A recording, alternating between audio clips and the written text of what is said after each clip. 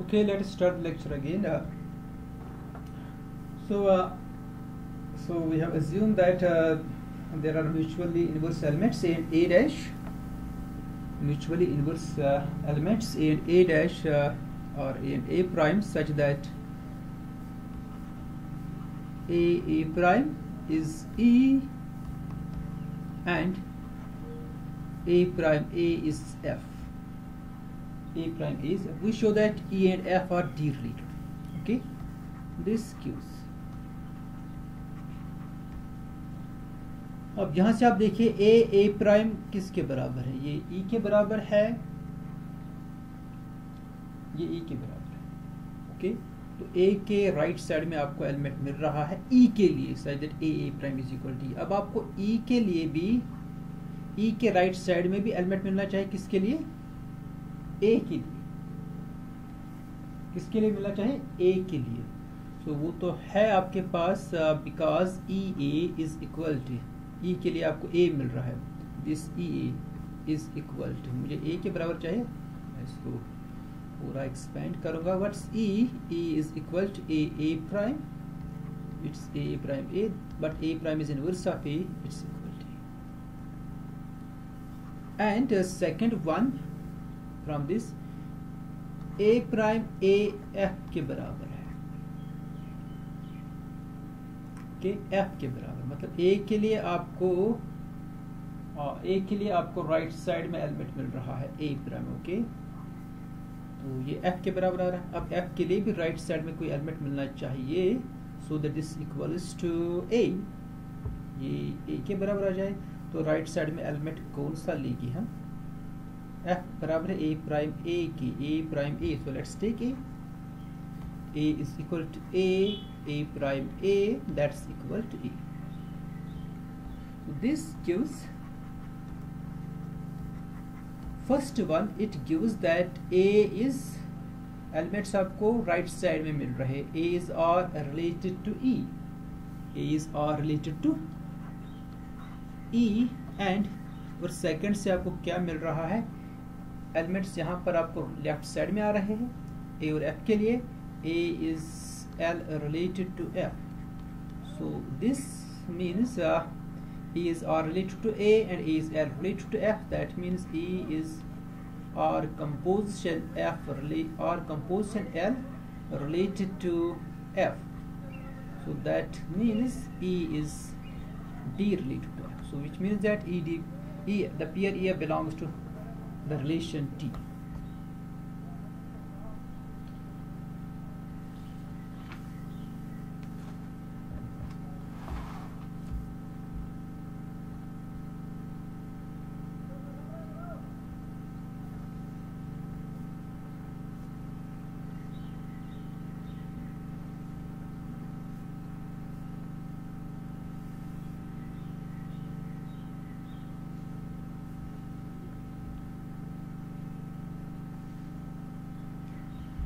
Okay, yeah, so uh, this completes the proof of theorem.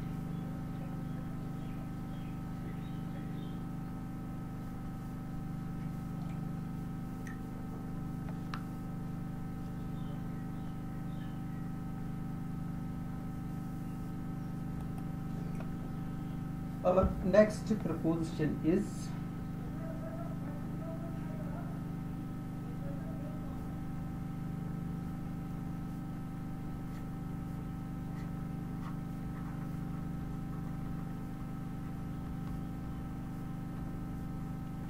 next proposition if h and k are two group h classes ये h classes है और groups भी है तो जो exist हो रहे कुछ सेमी ग्रुप्स में तो ऐसा ले सकते हैं ऐसी assumption okay if if H and K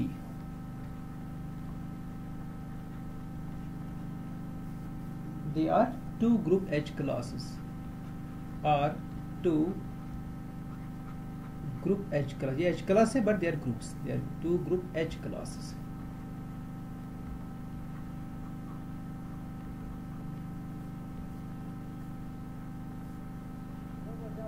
In the same regular D class, okay?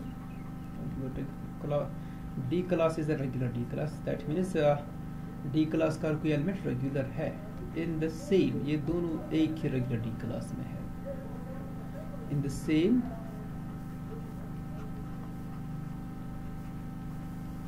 regular T class. Then you show that H and K are isomorphic. Then H and K are isomorphic.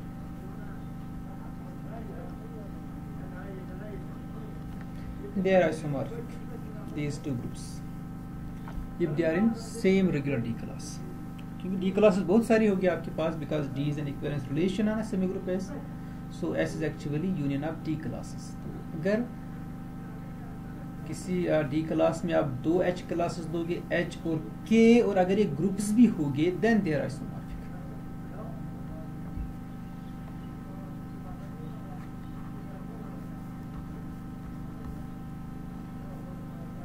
So uh, this H class uh, is a group, so uh, it has identity. Similarly, K class is a group, it must have identity. Has identity. So हम उसी identity को इसका representative लेगी okay H class of e हम लेंगे H को हम लेंगे एच क्लास ऑफ़ ई और के को हम लेंगे के क्लास ऑफ़ इट्स आइडेंटिटी से F and we had to use the translation mappings in this proof okay that we have done in lemma 2.2.3 uh, Green's uh, lemma जो हमने किया है let's uh, write down its proof uh, uh, suppose that suppose that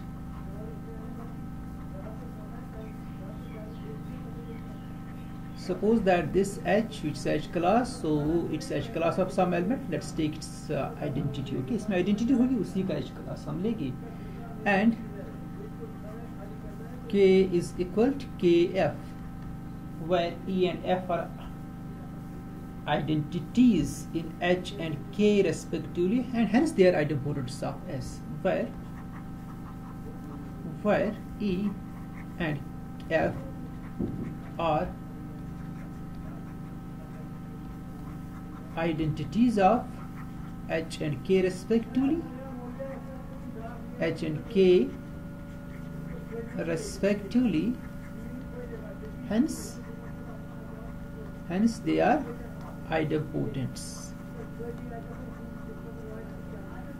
ये आइडेम्पोटेंट्स है इन D क्योंकि आप in in regular D class D in क्योंकि दोनों एक ही क्लास में है same regularity class in in uh, in uh, D class uh, say let's take that D class D class D so they are in D class it means that uh, it means that uh, so then uh, then क्या E और F D related होगी E F ये D related होगी और they belong to D or not Yes.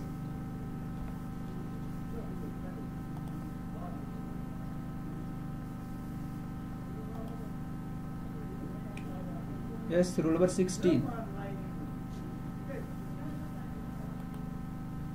ये D related हो गया या एर रिलेटेड या आर रिलेटेड ये एक ही डी क्लास में है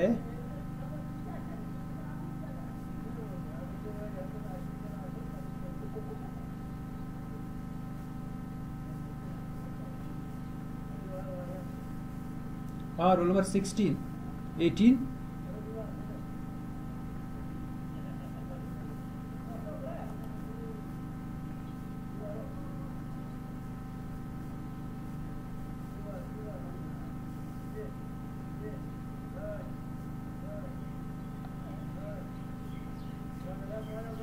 Yes.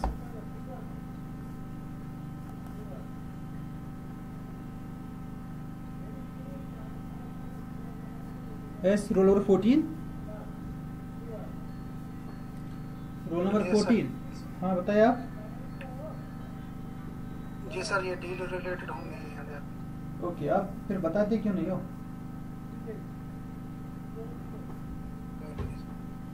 Deal because because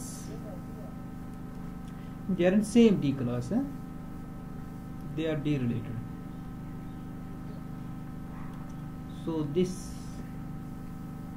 is in the relation D this pair now uh, you can apply the previous proposition EF is in D if and only if there exists uh, inverse A prime of A such that uh, A prime A is A and A A prime is F जो आपने भी किया है अगर ये related होगी if and only if आपने किया है एंड वो जो एलिमेंट्स होंगे वो किसमें होंगे वो होंगे मतलब वो एक्चुअली इस इंटरसेक्शन में होगी R e intersection L F में जो आपने देखा है, वो जो ए प्राइम है ना, वो R e intersection R F में होता है R e intersection L F में। So by above theorem by above theorem या by above proposition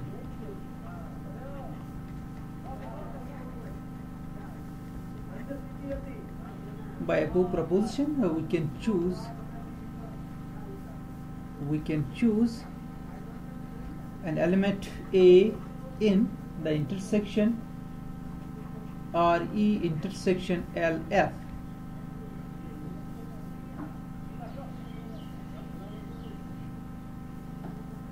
We can choose this element in the intersection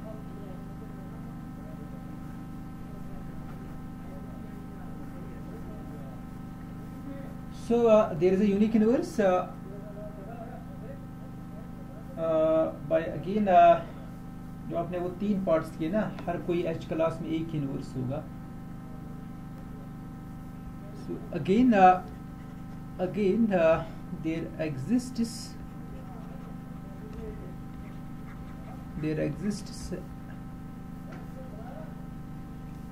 a unique inverse unique inverse a prime of a in H class in wire in in L e intersection R F उसमें इसकी पूरी details है ना उस preposition में जो हमने किया है। वो जो थोरम है जिसमें हमने तीन पार्ट्स किए and uh, with these inverses we have the following and we have we have this a a prime is equal to E A prime A it's equal to F uh, then uh, we have EA is the left identity and F is the right identity AF is equal to E ये सारा हमने उसमें किया है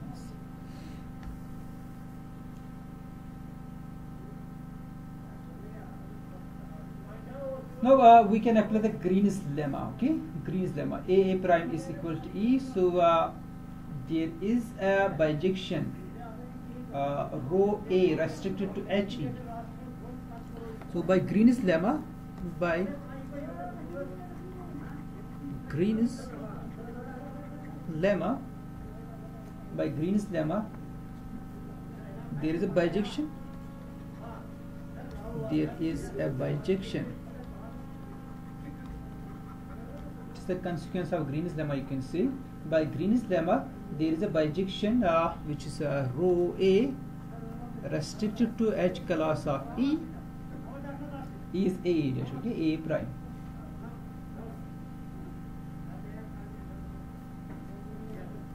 bijection from HE to A A prime है to HE okay to HE A A prime is equal to E यहाँ से ये bijection and uh, the second bijection there is there is a bijections okay? And second is the right translation uh, or left I can say it's left translation. Lambda a prime it's a bijection when we restricted it to uh, the h class of a okay? H class of a.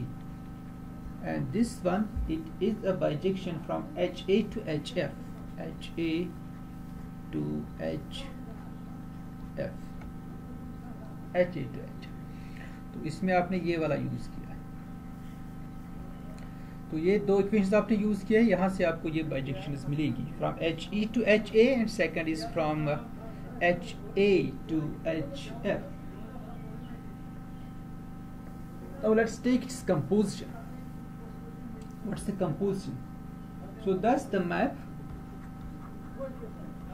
That's the map, uh, which is uh, which is uh, the free map that's equal to the composition rho A because rho A is from H E to H A, okay, and then lambda A prime which is from H A to HF. So this composition is well defined.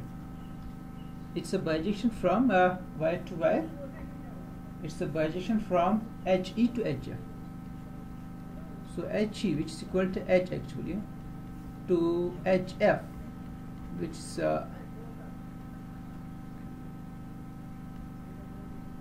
H F मुझे लग रहा है मैंने इसको के F से denote किया शायद आप वहाँ पर एच एफ़ यूज़ कीजिए क्योंकि यूजली एच क्लास एच से ही डिनोट करते हैं H H F is your के सेकेंड एच क्लास तो वहाँ अगर, वहाँ पर अगर मैंने के एफ़ लिखा होगा, वहाँ पर आप एच एफ़ लिख दीजिए। एच क्लास जो हमने ऑलरेडी नोटेशन दी है एच क्लास आप आई सी रिपोर्ट करोगे या एल क्लास अगर होगी तो एल ई कोई भी एल क्लास अगर होगा। So by Green's lemma we have obtained this bijection from H e to H F and the definition is is a map which is given by its a composition given by x phi. This is equal to x rho a lambda a prime. So what's x rho a? Rho a it is a right translation it's xa okay of lambda a prime and lambda a prime is a left translation it's a prime x a ये आपकी map है तो आपको बाइजेशन मिल गई H से लेकर के तक। मगर आपको चाहिए कि एच और के क्या होने चाहिए? They must be isomorphic so this map you have to show that this map is also a morphism ये मॉर्फिज्म भी है so next we show that this phi is a morphism next we show that next we show that next we show that phi is a morphism one one तो आ गया अब आपको सिर्फ morphism check करना है morphism so for this we take uh, two elements uh, we take uh, two elements uh, let's take two elements x1 and x2 it, or in he let let x1 x2 belongs to he which is your the group subgroup h then then x1 phi x2 phi we show that this is x1 x2 phi and x1 phi is it's equal to the by definition uh, ये ए से आपको मिल रहा है X one X one five A prime A prime X one A A prime X one then x2 5 which is equal to a prime x2 a.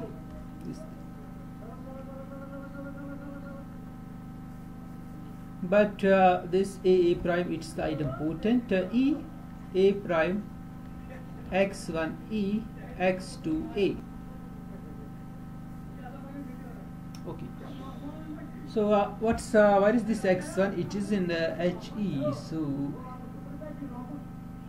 so is the idempotent uh, here.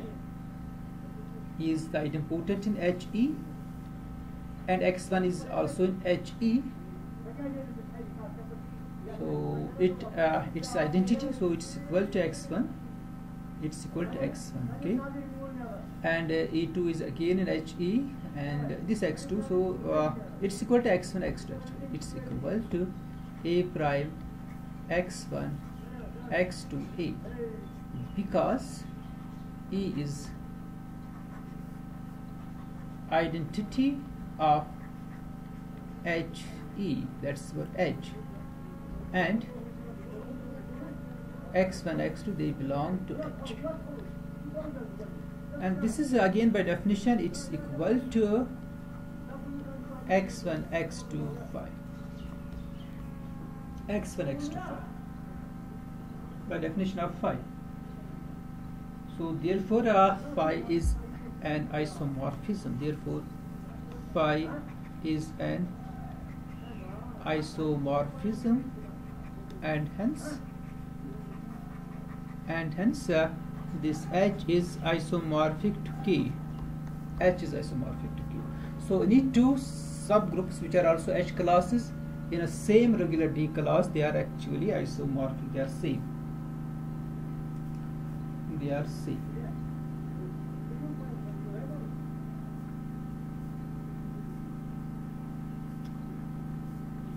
तो यहाँ पर ही and करिए इस lecture को।